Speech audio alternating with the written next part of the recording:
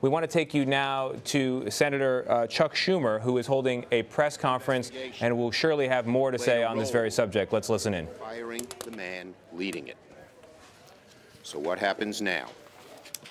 Deputy Attorney General Rosenstein sat in the Judiciary Committee and promised to appoint a special prosecutor at the appropriate time. That time is right now. The American people's trust in our criminal justice system is in Rosenstein's hands. Mr. Rosenstein, America depends on you to restore faith in our criminal justice system, which is going to be badly shattered after the administration's actions today.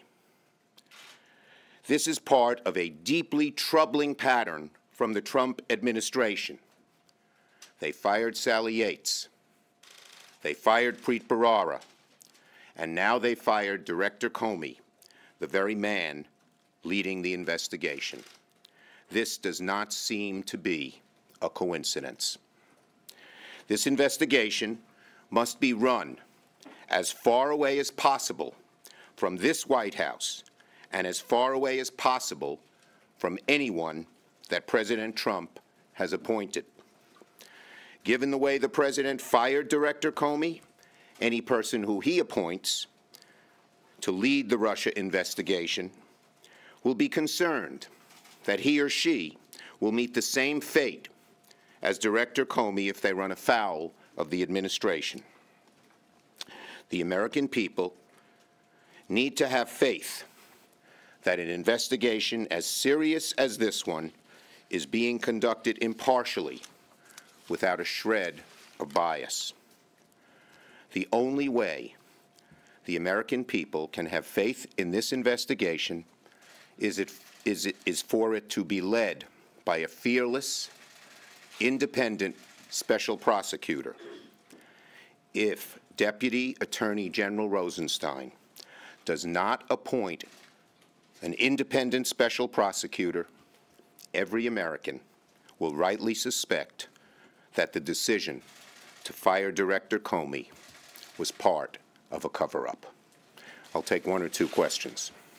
Are you suggesting that this was a part of a cover-up, and did you convey to President Trump that he should appoint, that a special prosecutor should be appointed, and what was his reaction to your response? I simply said to him, Mr. President, in all due respect, you're making a very big mistake.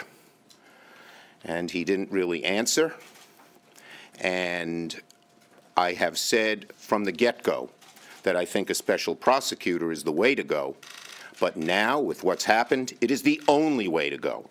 Only way to go to restore the American people's faith. Are people going to suspect cover-up? Absolutely. If an independent special prosecutor is appointed, there still can be some faith that we can get to the bottom of this. If not, everyone will suspect cover-up. But are you suggesting? Yes.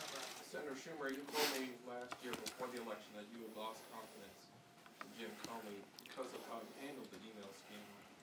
Uh, do you think that the president's explanation that this is the reason why he's firing him now has credibility with you? Do you believe that? Okay. Or do you think that he's firing him for another reason? I never, I never called on uh, the president to fire Director Comey. I had a lot of questions about how he handled himself.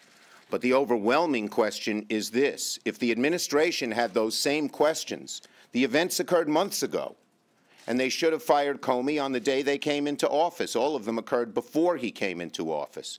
So that does not seem to me to be a very logical or persuasive explanation.